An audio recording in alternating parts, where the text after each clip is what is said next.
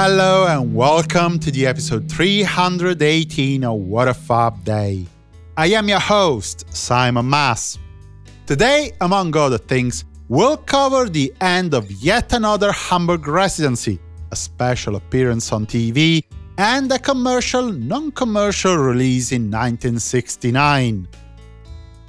For all the talk of bad feelings between the Beatles and Kaiser Keller's owner Bruno Koschmider, the Five Ps, featuring John Lennon, Paul McCartney and George Harrison on guitar and voice, Stu Sutcliffe on bass and Pete Best on drums, kept on performing at the club, with the night, the 14th of November 1960, marking the 42nd straight evening of their residence in Hamburg, West Germany. One year later, in 1961, having turned to a quartet with Paul McCartney taking on bass duties, the Beatles had two engagements in the same night, both in Liverpool.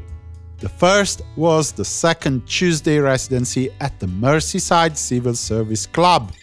The second was an evening appearance at the Cavern Club in support of the Blue Jeans, along with Gerry and the Pacemakers and the Remo 4.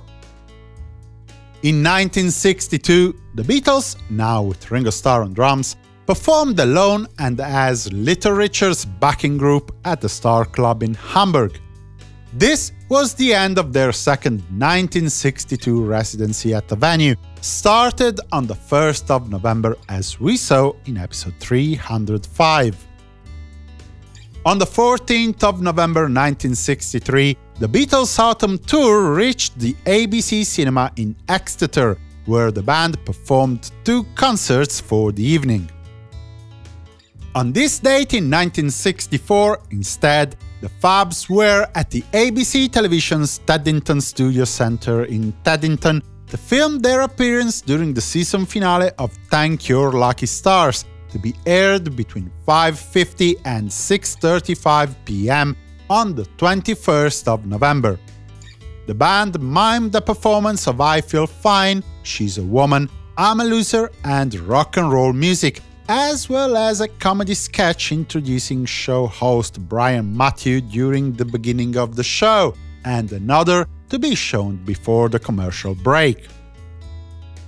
Another day of work on the Magical Mystery Tour film in 1967, with the editing team at work as usual at Norman's Film Productions. Let's round things up with two 1969 events. On the 14th of November of that year, Wedding Album, the third album of experimental music by John Lennon and Yoko Ono, came out in UK. The album was released in a lavish box set, with a copy of the marriage certificate, a booklet with press cuttings, a picture of a wedding cake, several photographs of the newlywed, and other props. The wedding album didn't do too well in the sales department, but I guess that was not the point of its release.